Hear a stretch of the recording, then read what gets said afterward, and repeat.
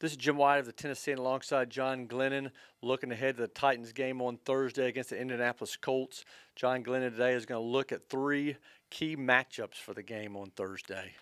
Yes, uh, first key matchup we have is going to be on the line for the Titans. Titans offensive tackle uh, Michael Roos is going to be going up against a, an old uh, enemy of his, Robert Mathis of the Colts, who now plays outside linebacker in the Colts 3-4 system. Uh, Mathis leads the league right now, 13 and a half sacks. Uh, he's had four in the last three weeks, two sacks last week as well. So, so a big threat from the outside. But uh, if anyone knows him pretty well, it's Michael Roos. Uh, Roos has been uh, protecting the left side of the Titans line for the past seven years. And if you look at the 11 games that Mathis has played in that time, just one sack uh, during all that stretch. So Roos has handled himself pretty well against Robert Mathis over the years. Uh, second key, uh, another line matchup. We have the Titans uh, defensive tackle Jurrell Casey going up against uh, Colts guard Hugh Thornton. Uh, this could be an advantage here for the, for the Titans. Casey, of course, is having an excellent year. Seven sacks already this year. He's had six quarterback pressures.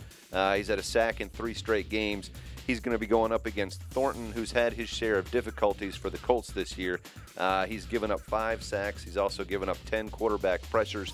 Uh, so that, again, that's that's an area where uh, where Casey could get some penetration. That's going to be very important. You have to move Andrew Luck around the pocket. If Andrew Luck is comfortable back there, he's gonna he's gonna slice the Titans up.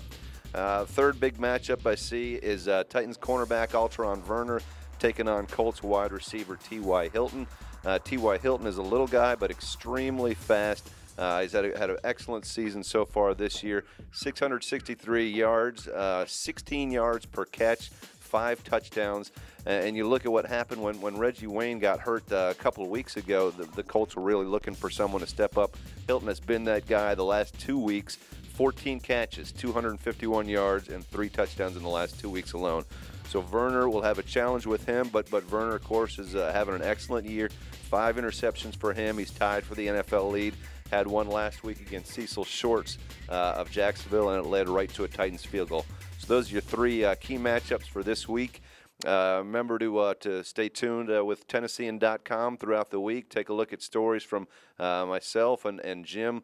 Uh, follow us on Twitter as well at Jay Wyatt Sports, at Glennon Sports. Uh, again, we'll be we'll giving you previews, we'll give you videos, we'll give you analysis of the game, lead up to the game, and, and post game as well. So for Jim Wyatt, I'm John Glennon of the Tennessean.